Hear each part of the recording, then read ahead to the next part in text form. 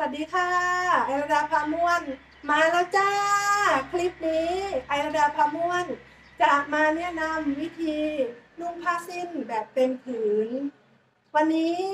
จะมาแนะนำวิธีนุ่งผ้าสิ้นแบบจีบหน้านางแบบนี้นะคะ จีบหน้านางสวยงามผ้าสิ้นเต็มผืน เราไม่จำเป็นต้องตัดเย็บเป็นผ้าถุงสำเร็จ เพราะว่ามันจะใส่ได้แค่แบบเดียว แต่ถ้าเป็นผ้าสิ้นทั้งผืนเราสามารถใส่ได้หลากหลายรูปแบบ ในแต่ละวาระและโอกาสและความต้องการของเรา แบบนี้นะคะ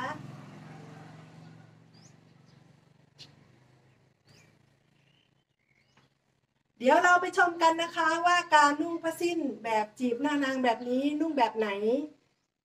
ง่ายยากอย่างไรเดี๋ยวเราไปชมกันค่ะ อันดับแรกเตรียมผ้ามานะคะ ที่เราจะใส่ออกงาน ผ้าทั้งผืนโดยไม่ต้องผ่านการตัดเย็บ แค่เย็บริมก็พอค่ะกันลุย เสร็จแล้วเราก็ทำแบบในคลิปนะคะ มัดไว้ที่ชายข้างใช้ชายผ้าด้านหนึ่งกับอีกขอบผ้านะคะ มามัดไว้ ให้แน่นๆค่ะแบบในคลิป ถ้าไม่เข้าใจดูหลาย ๆ รอบนะคะ แล้วก็ดึงชายผ้าอีกด้านหนึ่งมา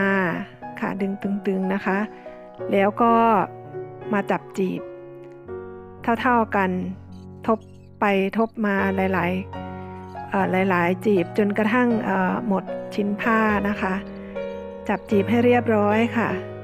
ดูความเรียบร้อยค่ะ แล้วก็ใช้เข็มกลัดนะคะ กลัดด้านในชายผ้าที่เราจับจีบไว้หน้านางนะคะ จับจีบไว้ให้เรียบร้อยค่ะ เสร็จแล้วเอาเข็มกลัดกลัดไว้ด้านใน เพื่อไม่ให้จีบผ้านั้นเลื่อนเคลื่อนตัวออกจากกันนะคะ ค่ะ เสร็จแล้วเราก็ดูความเรียบร้อย แล้วก็ใช้ หัวพกนะคะที่เราข้างบนสุดที่เราจับจีบไว้นะคะ พับเข้าไปด้านในของผ้าสิ้นที่เราเได้มัดไว้เป็นที่เรียบร้อยแล้วนะคะ แล้วก็จับจีบดูความสวยงาม แล้วก็จับดูลงมาถึงข้างชายผ้าสิ้นนะคะ จับจีบให้เรียบร้อย ดูว่าเออจีบมันเท่ากันไหมความเป็นระเบียบเรียบร้อย